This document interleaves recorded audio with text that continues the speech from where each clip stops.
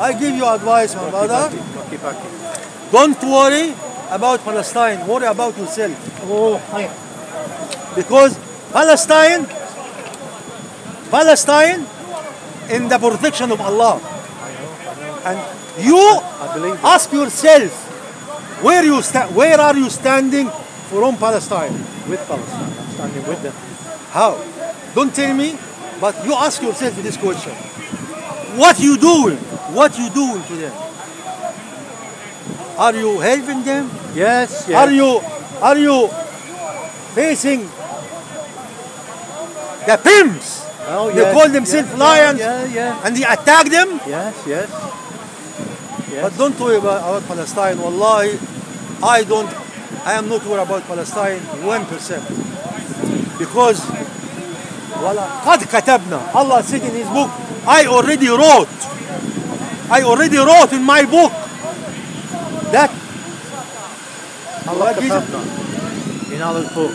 Allah katabna. is he in? Oh. How are you? Hello, Giza. You're looking more like a Muslim every day. إن جندنا لهم المنصورون Allah already decided my army will be victorious and وهم الغالبون and they're gonna be gonna overpower look brother how many how many Muslims in Gaza Two million.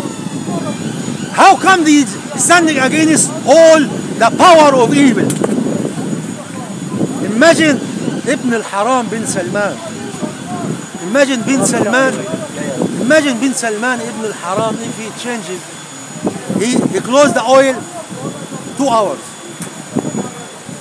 Imagine Tabboon ibn al-Haram if he closed the gas two hours. Imagine Sisi ibn al-Haram if he opened the border two hours. But we are sure, brother. We are sure our army is the winner. We are sure. It's not matter. of- uh, They've already won. Palestine have already won. That's it. If you have an enemy like this, and you humiliate him that much, and they, they just every subhanallah, every time they try to do something to save their skin, they get humiliated more. They get humiliated more. Every time they get humiliated more. Yeah. I mean, the world can see now who is the evil party. The world can see this now. Any, anything brother before we wrap it up? Anything? No, Any question? we'll have another chat later. Inshallah. Take care, my man. Yeah. I'm not. I'm not gonna move from here. No, I'm gonna wait for this. Uh, get something.